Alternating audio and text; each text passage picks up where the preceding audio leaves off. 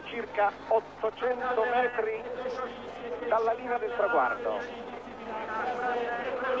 Sempre palista. Baronchelli all'estrema sinistra. Saronni al centro. De Wolf in quarta posizione. Ora è Baronchelli al vertice del cuneo con Saronni in seconda posizione. Circa 400 metri. Ecco le telecamere fisse, lanciato lo sprint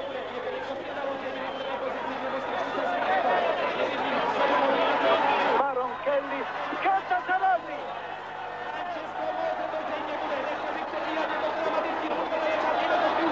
Sempre Saronni ma sta uscendo belga. Martens, Martens davanti a Ino e a Saronni. Martens, una volata condotta molto da lontano, troppo lunga e Freddy Martens che riceve l'abbraccio della moglie ha beffato tutti.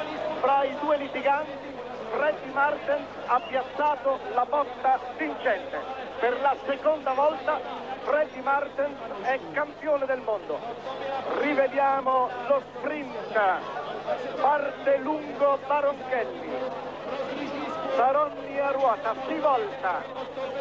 Scatta Saronni, troppo da lontano. Ecco Martens con Ino che si riportano nella scia di Saronni. Saronni ancora al centro. Ecco Ino.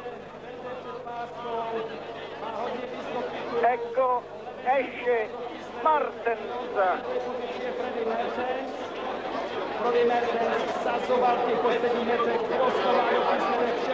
Ed è Martens che vince, mentre anche Ino sta recuperando. Allora, Martens poi per il secondo posto sarà il giudice d'arrivo ma ci sembra che sia secondo Staronni davanti a Ino